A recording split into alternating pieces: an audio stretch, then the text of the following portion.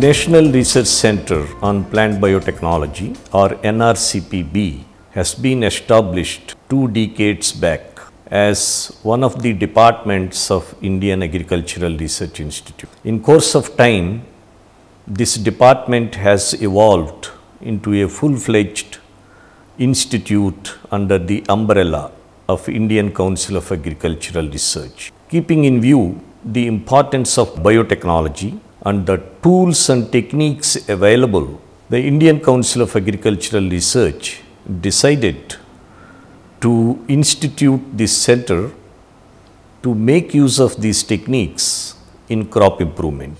The mandate of National Research Center on Plant Biotechnology is to undertake plant molecular biology research, to devise tools and techniques for crop improvement, to apply the knowledge of genomics for agricultural production, to serve as national lead center for creating trained manpower in the area of plant biotechnology.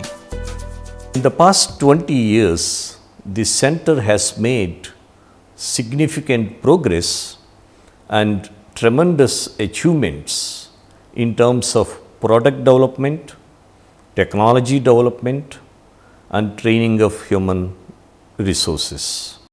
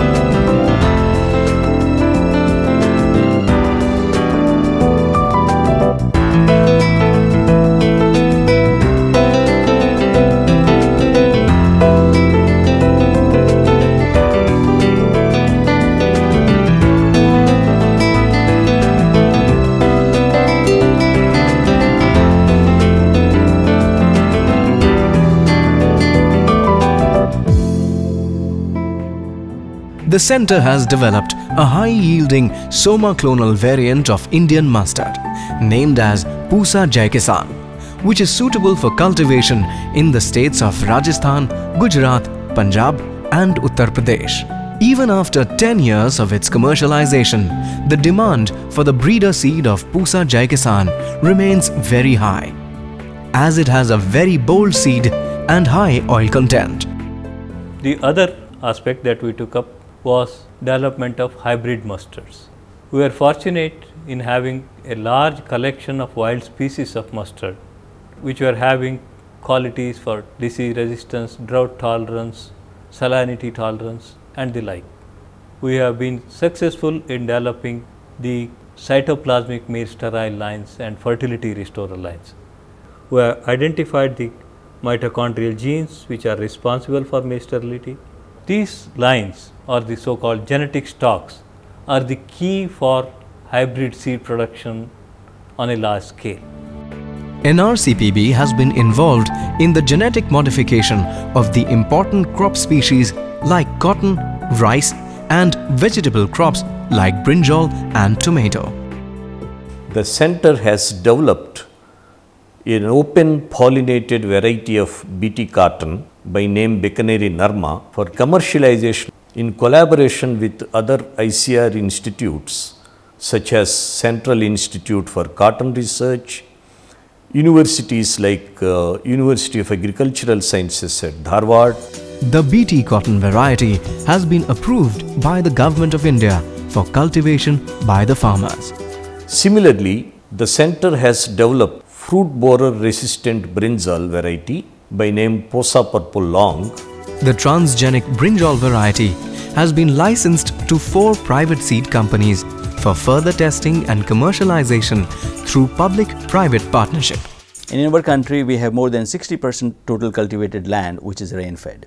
So, therefore, we need to increase productivity from this area you know which is totally dependent on rain and there are no sources of irrigation available. We have uh, developed transgenic wheat, mustard and tomato and we have compared their performance which is much better than the non-transgenic counterpart under phytotron conditions.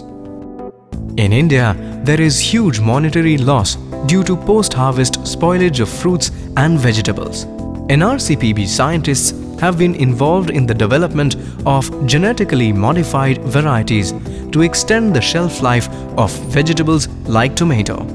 The center has also developed tomato with increased lycopene content which is anti-carcinogenic and antioxidant. NRCPB has made considerable progress in the isolation of novel genes and promoters which are extremely valuable in the development of transgenic crops. Our group is involved in identification of novel promoters which would impart tissue specific or environmental signal specific expression to the introduced genes. We make use of a plant called Arabidopsis thaliana which is considered a model plant all over the world for basic and molecular biology studies. We make use of a technique called promoter trap for this purpose. The other plant which we work with is chickpea which is an important pulse crop of India. Chickpea suffers from lack of moisture at the time of seed setting which is called terminal drought and we are trying to look for genes which are associated in providing drought tolerance at the terminal seed setting stage in chickpea. NRCPB has been working in the frontier areas of molecular biology such as structural and functional genomics of major crop species. In functional genomics, the center is working on mapping, cloning and expression analysis of genes responsible for rice grain number, grain quantity, aroma and resistance to rice blast. In case of genomics, we are working on uh, three crops. One is rice, which is already uh, finished. It was completed in 2005. Then the second one, which is now ongoing, is the tomato genome. And this is again a network of 10 countries um, which are doing this decoding of tomato genome. The third program which we have is the Pigeon Genomics uh, Initiative and this was started last year in 2007 uh, under the Indo-US Agricultural Knowledge Initiative. And the other area which we are working in rice is the trying to understand the basis of basmati quality. We are also working on wheat and wheat is another very important crop and in this case we are working on the drought tolerance and the terminal heat tolerance and also the quality of wheat. The center has a strong molecular breeding activity aimed at the improvement of rice and mustard for different agronomic traits. The scientists have developed through marker-assisted selection a bacterial blight-resistant basmati rice variety which has been released to the farmers for cultivation. We have been working in the area of molecular markers and their applications for the past 20 years at this center. We have designed a large number of molecular markers and use them for constructing genome maps, for tagging genes of importance and for generating DNA fingerprints of crop varieties including basmati rice. More recently, we have employed marker assisted selection and transferred two genes for bacterial leaf blight disease resistance from a non-basmati donor line to the commercially important Pusa basmati 1 through a collaborative effort involving the division of genetics IARI. This new line named improved Pusa Basmati 1 has been released as a commercial variety for cultivation in the country. NRCPB scientists have been involved in studying plant microbe interactions with the major objective of improving nitrogen fixation in legumes like chickpea and pigeon pea. Mutants of rhizobia that give better nitrogen fixation in chickpea nodules were isolated and field tested. We also try to um, improve the strain in a such a way that is more competitive. That is that when you introduce it into the soil, it is able to enter the nodule of, or it can form the nodule. it can outcompete the local uh, bacteria. NRCPB has a strong bioinformatics facility with very high-end computation servers, storage, high-speed connectivity and trained manpower.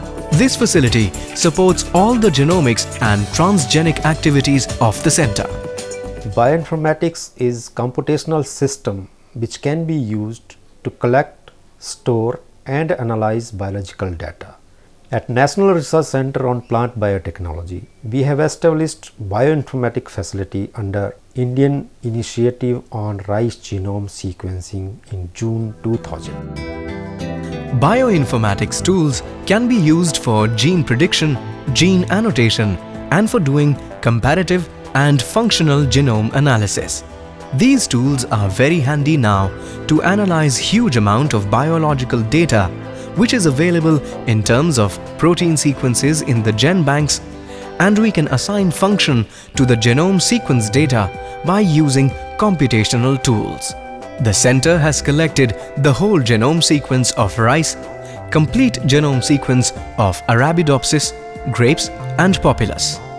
Besides, genome sequence of all the crops and fruit trees available in public domain databases are stored in the servers at NRCPB. We are mining genome sequence data to find genes and DNA markers of agriculturally important traits.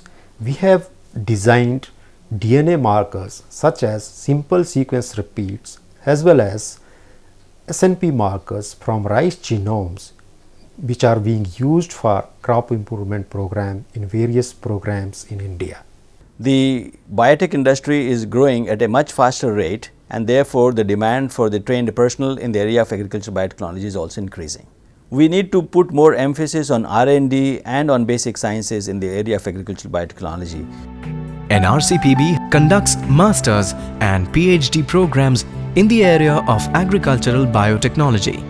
The center is one of the premier institutions we have in India in agricultural education in the area of biotechnology.